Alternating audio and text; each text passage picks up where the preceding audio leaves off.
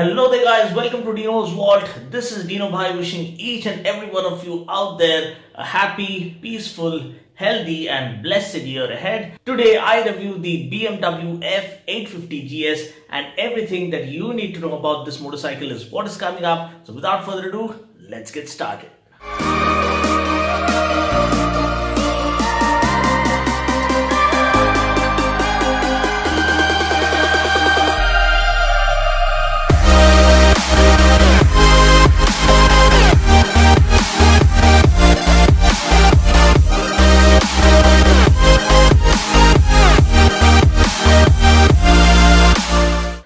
BMW GS is not just a range of motorcycles, it's more kind of a reflection of one's personality who loves to explore and embark on a new adventure every weekend. Now, the R1200 GS has always been a benchmark and the undisputed king of the adventure touring segment, with the Triumph Tiger giving it stiff competition all along. But for those who think that the 1200 is a bit too intimidating and a bit too huge to handle, the F800 GS was the ideal choice in the middleweight segment.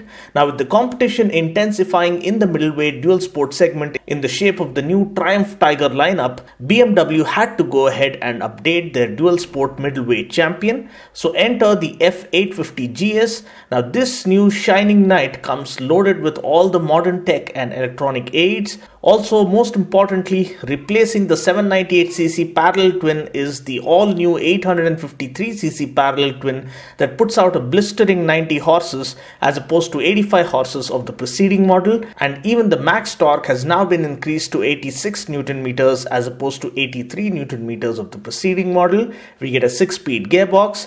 But it's not just the numbers that have changed. BMW have now abandoned the 360 degree firing order with 0 degree crank pin offset in favor of a 270 degree firing order with 90 degree crank pin offset, which means the engine offers the smooth power delivery of a parallel twin combined with the punchy acceleration of a V twin. In addition to this, we also get a dual counterbalancer setup to cut down the vibrations further and enhance the overall engine refinement.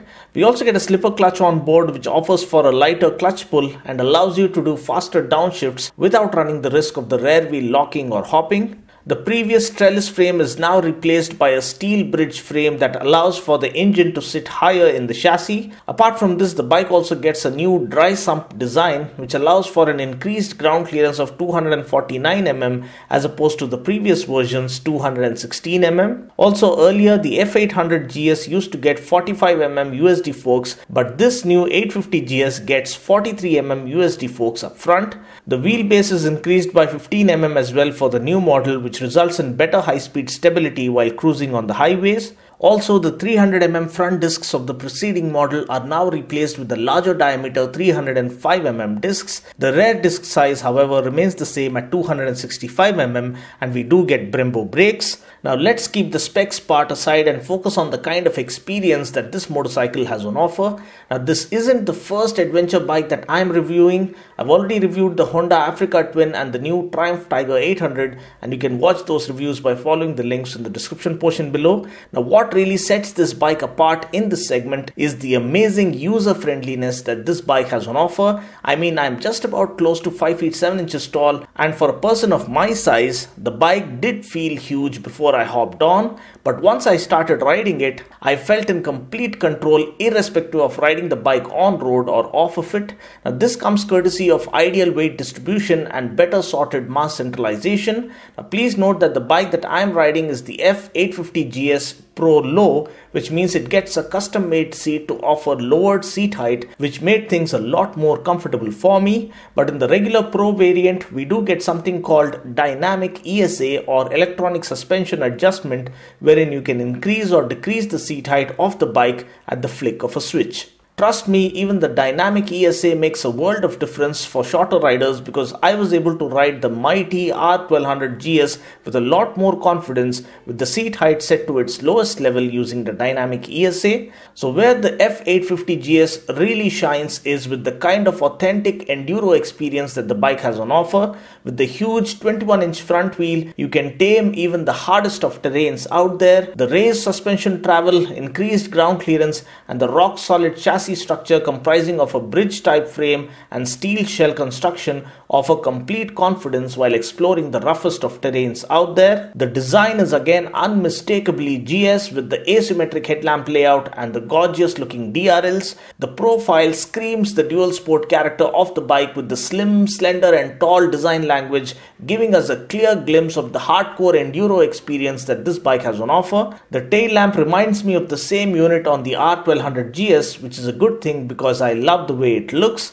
The handlebar is nice and wide and is also positioned ideally such that you can ride standing up with ease. The 6.5 inch color TFT display is an optional extra, but it sure does look gorgeous and is extremely easy to operate. The multi controller jog dial allows you to navigate through the menu and customize the controls as per your personal preference. It also offers smartphone connectivity via Bluetooth, which means you can answer and reject calls, listen to music, and it also supports navigation, which is outstanding. What's even better is we also get voice based turn by turn navigation if we have a Bluetooth headset paired with the system. So, in order for you to be able to tap into all the functions that the Speedo console has on offer, we should first download the BMW Motorrad connected app I'm leaving a download link to the app in the description portion below. The 850GS also gets aluminium cross spoke wheels with tubeless tires, which means you no longer need to worry about dealing with a flat tire and you can go about your exploration without any limitations. We get a 21 inch wheel with a 90 by 90 tire up front and a 17 inch wheel with a 150 by 70 tire at the back. We get a 15 liter fuel tank that is decent enough, but I would have hoped for at least an 18 liter tank, which would result in better tank range.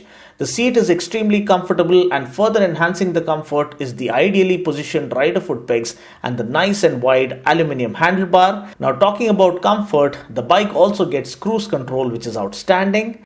Talking about the equipment that we get with the 850GS, standard equipment includes ABS, automatic stability control, two riding modes namely rain and road, an engine guard and adjustable brake and clutch levers. The optional add-on equipment includes dynamic electronic suspension adjustment, traction control, extra riding modes namely Dynamic, Enduro and Enduro Pro, LED headlight with LED DRL, Gear Shift Assistant Pro which is basically a dual direction quick shifter that works for upshifts as well as downshifts. Apart from this we also get keyless ride and tire pressure control. Now that's quite a list for a dual sport motorcycle. So let's talk about the ride feel that this bike has on offer. Please note that this particular model has been fitted with regular street tires Trust me, the off-roading experience on this bike with proper enduro tires would be nearly flawless.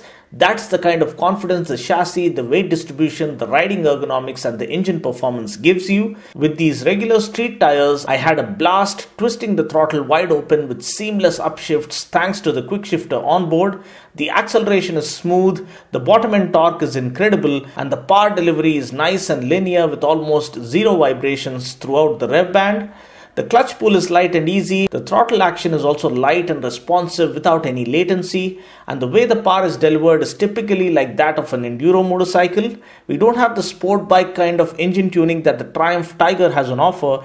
And if you prefer that kind of an intense and insane sport bike kind of power delivery, we have the BMW S1000 XR, which will surely blow you away with its explosive power delivery. However, getting back to the 850GS, the bike has an amazing persona of its own with the hunger for exploring the unknown. It has the equipment to watch your back and help you in every which way possible. It has the hardware to feed your appetite for off roading and an engine that is as sweet as a Maroon 5 song. Mileage wise, there is no official claim as such, and definitely these bikes are not about calculating mileage, but I believe we can expect anything around 15 to 18 kmpl from this bike.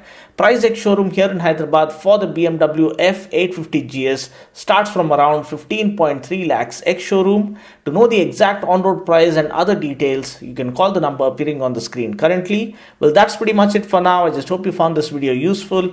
Until next time, this is Dino saying ciao. Take care, God bless, and ride safe.